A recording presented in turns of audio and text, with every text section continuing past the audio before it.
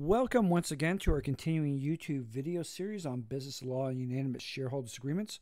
My name is Christopher Neufeld of Neufeld Legal, and in this particular YouTube video, we will be discussing why one should have a unanimous shareholders agreement and providing another reason why you should seriously consider having a shareholders agreement. And the reason we have that is it gives you the ability to negotiate with your fellow shareholders. Now, why do I say that? Well, if you don't have something in place, even though it might not be perfect in most unanimous shareholders agreements because they're projecting into the future, are not necessarily perfect for every situation. Nevertheless, what they do provide is negotiating ability. And what do I mean by negotiability?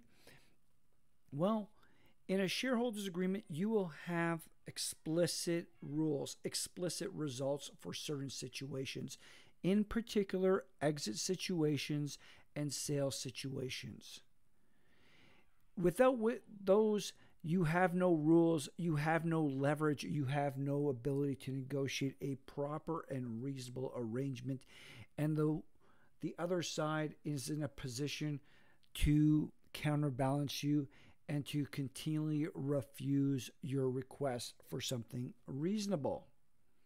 And I've seen this too many times in my own legal dealings. So, what happens? Well, you have the ability to negotiate, given, let's say, an arrangement comes up and you need to get a shareholder out. And you have a shotgun clause in there. Well, a shotgun clause might be not what you're really looking for, but everybody knows there is in the shareholders agreement that shotgun clause. So when you go to negotiate, you say, look, here is a more reasonable arrangement. I will nego- I want to negotiate with you. If we can't negotiate or negotiation goes south, I'm simply going to invoke the shareholders clause that says we go to a shotgun. Maybe it's a put call. Maybe it's a piggyback. Whatever the arrangement is, it, it, if there is some core arrangement in the shareholders agreement, you have that fallback. As I said, typically they're not specifically designed for something in the future from an exacting standpoint. You don't know what the future is going to hold. So you got a generalist arrangement. It's going to be harsh, probably get harsh for everybody. But at least it's an arrangement that will force a resolution.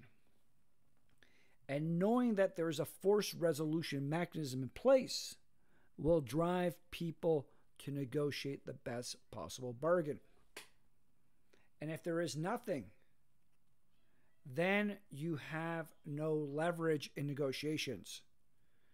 They can simply sit back and say, I'm not going to do anything. You keep on doing all the work you're doing in the company. I'll keep on doing nothing or whatever I'm doing. Take me to court.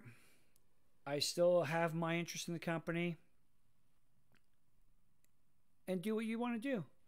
I am not going to be dictated to. And they take that attitude with people. And instead of addressing something, resolving it in a very short and brief time, yeah, you might hurt a bit of feelings, but it's going to be a lot less than if you have a unanimous, no unanimous shareholders agreement. So you're going to have a mechanism that you have behind you They'll be even harsher for everybody, but will affect results and will thus bring to people to negotiating table and find a negotiated solution. If you don't have that, well, then you're in a heck of a lot of trouble because you got no leverage. You got no way to bring them to the table outside of bringing them to court. And I've mentioned many times in these YouTube videos the court is not the place to be going to for these matters. The legislation that created the system under which you work was specifically designed to allow people to contract on their own and very much anticipated their contracting amongst their fellow shareholders and having a unanimous shareholders agreement. So when you don't have one, well, the court's put in a hard place. And it's not a great place to be as the one starting to initiate the action. Because it's not going to be pretty. It's not going to be cheap. And it's not going to have little impact on the corporation. Trust me. It's a bad place to be. Very bad place to be. So, get that unanimous shareholders agreement and put in place and have it as that agreement you don't really even pull out most of the time. You work things out most of the time. But everybody knows it's there. And if problems do arise, if negotiations stumble and falter, there's a harsh reality. And everybody's bound to that harsh reality because it's set out on paper. It's even recognized oftentimes in the legislation, and it's clearly recognized by the courts that you will be going to the harsh mechanisms that are set forth in the unanimous shareholders agreement, and people will have to fulfill those arrangements.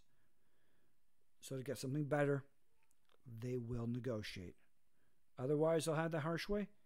And at least with a harsh mechanism, you know there's a way out of it and a way forward. So get it put in place and know it's there. And you'll be better off for it. And you'll be more confident putting the work, putting the effort, putting the money in, putting the sacrifice into the corporation because you have a greater degree of certainty. You have ability to negotiate out of bad situations with your fellow shareholders. And I hope this YouTube video has been informative and provides you some further clarification and insights into the purposes of unanimous shareholders agreements and what they serve in relation to operating and engaging with your fellow shareholders. Thank you.